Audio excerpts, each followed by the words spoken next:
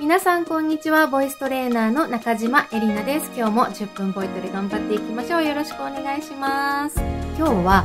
シンプルに発声練習をやる動画にしようと思います。ライブの前だったりとか、あの毎日のルーティンの中とかに取り込んでいただいて、確実に効果のある発声練習を今日アップしますので、うまく活用していただけたらと思います。発声の方法は、えーはーなななななでやる私のやっているいつも発声のはーな発声っていうのをやっていきます。普通のドレミファソファミレドにはーなななななっていう言葉を載せただけの音階練習なんですけれども、えーその中でいつも必ず4つのお願いといって、必ず4つのポイントをいつでも意識しながらその発声をやっていくっていうのをやってるんですね。はい。で、その4つのお願いを早速紹介してみたいと思います。えーその発声をやりながら意識することは、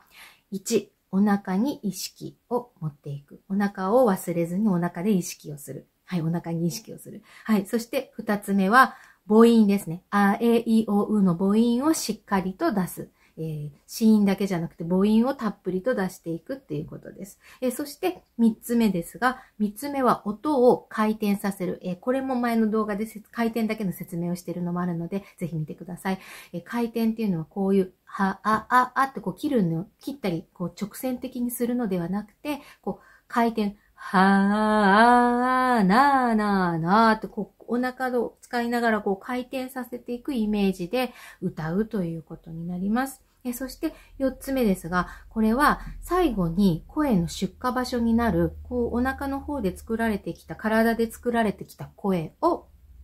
鼻のこの両脇にある空洞に響かせることによって、えー鼻腔共鳴だったり、こう顔面共鳴をしながら最後の声の仕上がりとしてこう出荷していくっていう、この鼻のこのあたりのところをポイントっていうんですけれども、そのポイント、わさびポイントっていうところに、わさびがツンとするようなところですね。ここに音を当てて出していくっていうのをやります。はい。一つ目がお腹を意識。二つ目、母音をたっぷり出す。三つ目、音を回転させる。四つ目、えー鼻腔の共鳴させる。画面に共鳴させるって、はあ、な、な、なの音ですね。はい。その4つをいつもどこかで意識しながらできているかなっていう感じで、こう発声練習をしていきたいんですけれども、いっぺんに4つだと、あの、どれがなんだかもうわけわかんない。姿勢とかもだんだんよくわかんなくなってきてしまうと思うので、初めての方も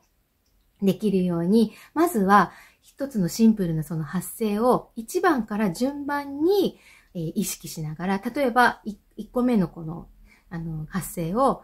1番のお腹を意識、それだけにも集中してやる。で、そしてそれができたら次は母音を出すことに集中する。もうすべて忘れて母音を出していくっていうことをやって、そして3つ目、4つ目と1つずつ意識しながらやっていき、そしてだんだん1と2を一緒にしたり、1と2と3を一緒にしたりしながら、ご自分のペースでね、こう最終的には4つのお願いが全部揃っている状態にしながら発声練習をしていけるっていうようになるといいなと思っています。1回だけこの発声練習をあの、録音しておくので、あの、それを何度も繰り返しながら、次は1番やってみよう、次は2番やってみようとか、次は4番、4つ全部やってみようとか、いろいろな方法で試してやってみてください。えー使う言葉ですね。使う言葉はさっきも言ったんですけれども、はーなななななだけで結構です。はい。これは私のやってる発声の、はーあーな発声って言って、はーで胸を楽にして、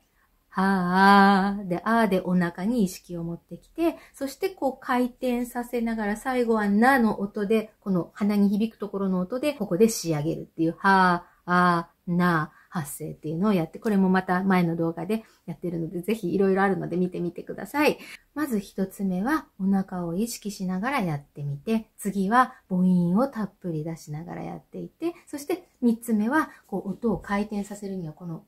この手を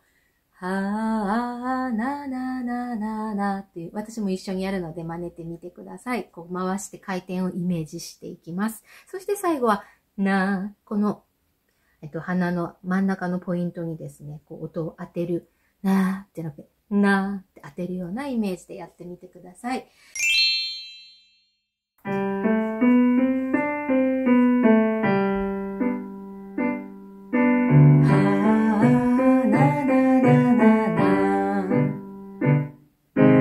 ah, ah. ah.